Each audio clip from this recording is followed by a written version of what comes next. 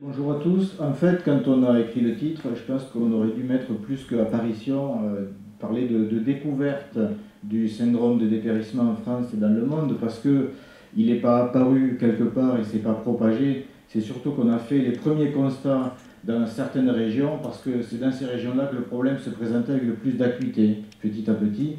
On, on s'est aperçu que ce problème-là existait également dans d'autres euh, régions. Euh, Laurent Maillot vous a parlé des surfaces en France, donc je voudrais euh, évoquer les surfaces de la Syrah dans le monde. Vous voyez que la Syrah au jour d'aujourd'hui, c'est environ 180 000 hectares, ce qui la place au 8e rang euh, mondial. Les principaux pays producteurs sont l'Australie, l'Espagne, l'Argentine et l'Afrique du Sud.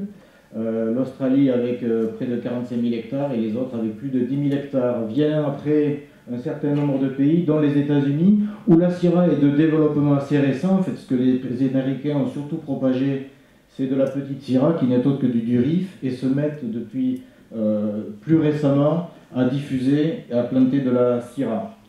Donc il y a d'autres pays que vous pouvez lire, euh, l'Italie, le Chili, pardon, l'Italie, la Chine, l'Algérie, avec plus de 1000 hectares, et puis les autres pays avec moins de 1000 hectares. Alors, euh, l'historique de l'apparition des symptômes. Euh, j'ai mis 93, mais c'est au début, comme ça a été évoqué, des années 90, que, euh, que les vignerons du Languedoc, notamment sur les secteurs d'Uzès, du Pic Saint-Loup, de Tavel, d'Alès, que des vignerons et les collègues des chambres d'agriculture ont vu que des souches éparses, disposées aléatoirement dans le vignoble, présentaient en fin de végétation un rougissement assez, assez curieux. Euh, alors que le cépage Syrah est un cépage qui ne rougit pas en période de sénescence comme peut rougir par exemple le carignan. Donc ça c'est une première alerte.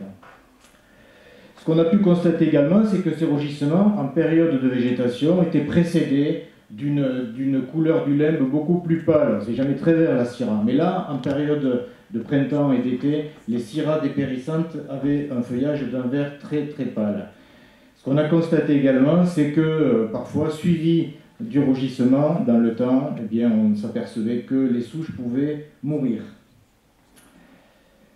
Ce n'est que dans un deuxième temps, après avoir constaté ces rougissements, après s'être euh, un peu focalisé sur les souches malades, qu'on a regardé de plus près le tronc, qu'on a regardé le point de greffe et qu'on s'est aperçu qu'au niveau du point de greffe, ce point de greffe apparaissait gonflé avec des présences de crevasses longitudinales mais circonscrite au point de greffe.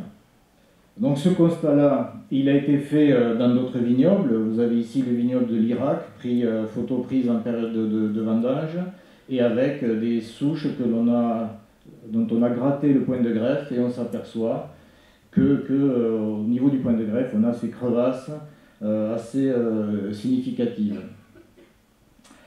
En 96, alors je fais un peu de chronologie par rapport à la découverte, et j'évoque également euh, la, mise en place des, essais. Il y a un premier essai qui avait été mis en place en 96, et notamment une parcelle où, je ne veux pas révéler ce que me diront mes collègues après, mais on s'était dit, tiens, puisque ça se passe au niveau point de greffe, est-ce que le greffage ne serait pas en cause? Donc il y a un premier essai qui avait été mis en place sur le Pic Saint-Loup, avec différentes modalités de greffage, la greffe oméga, la greffe en glaise, la greffe en verre et la greffe sur place.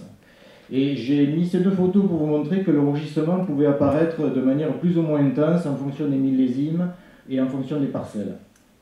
Euh, voilà un constat qui a été fait donc avec quelques années de décalage euh, avec les collègues de la Chambre des cultures des Bouches-du-Rhône sur une parcelle où il y a de côte, côte, à côte un rang de grenache et un rang de syrah et on voit à droite une souche de syrah avec ses rougissements très caractéristiques. Si on regarde un peu plus près, on voit encore une fois ces rougissements, puis on voit au pied de la souche une repousse de porte-greffe, et le porte-greffe est vert. On voit également un plan de remplacement qui a été mis, peut-être qu'à côté la souche euh, qui est morte euh, à cause du dépérissement. C'est en 2001 que euh, les observations faites dans le vignoble des Côtes-du-Rhône septentrional a permis de constater que ce problème existait également euh, dans les Côtes-du-Rhône. Et c'est aussi euh, en 2001 que Anne-Sophie Spilmont a été recrutée pour s'occuper spécifiquement de ce programme. Je voulais le signaler. Donc voilà en trois ermitages, une souche dépérissante et le point de greffe avec les crevasses. En Vallée du Rhône, ça je ne sais plus où c'est, donc j'ai mis Vallée du Rhône, mais vous voyez les mêmes choses avec ce rougissement vineux. C'était Bon Saint-Esprit, merci Anne-Sophie. Merci pour le diaporama Anne-Sophie aussi. Euh, dans les sud des côtes du Rhône, vous voyez, c'est les mêmes choses. Donc plutôt en post-vendange.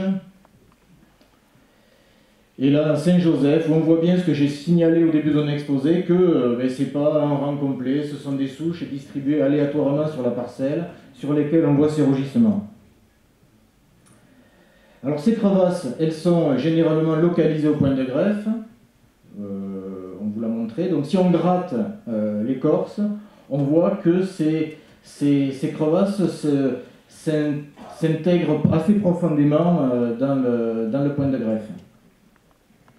À côté de ça, si on creuse une souche saine, sans symptômes, eh bien, il y a un point de greffe tout à fait normal, c'est-à-dire avec une apparence extérieure tout à fait lisse et saine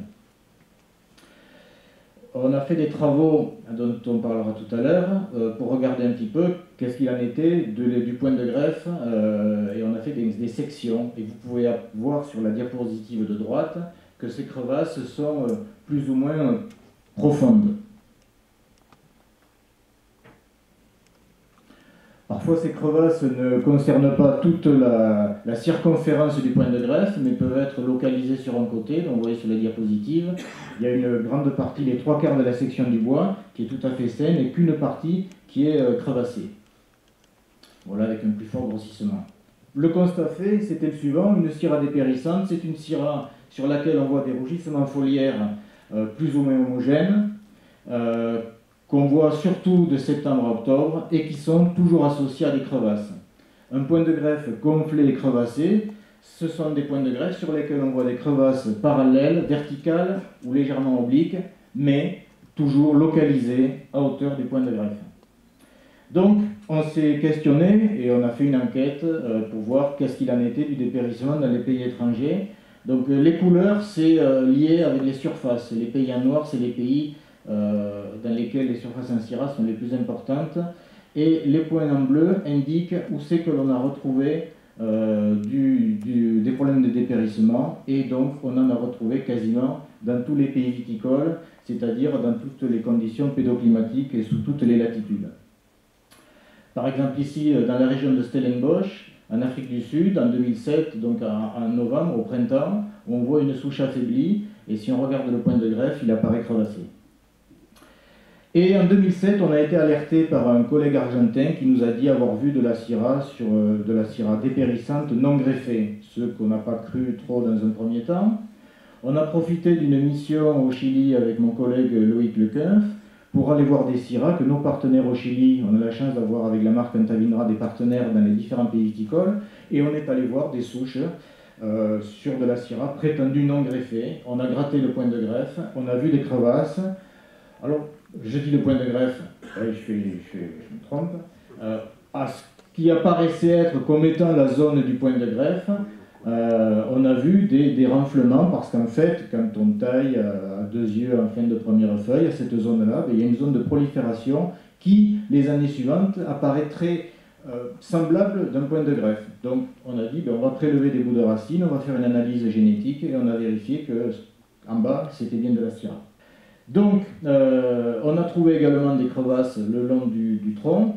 Et ce qui nous a permis, ce constat étant fait que le dépérissement n'était pas lié euh, au, greffage, on s'est dit donc le greffage peut jouer un rôle, mais on ne peut pas considérer que le greffage est la cause originelle du dépérissement.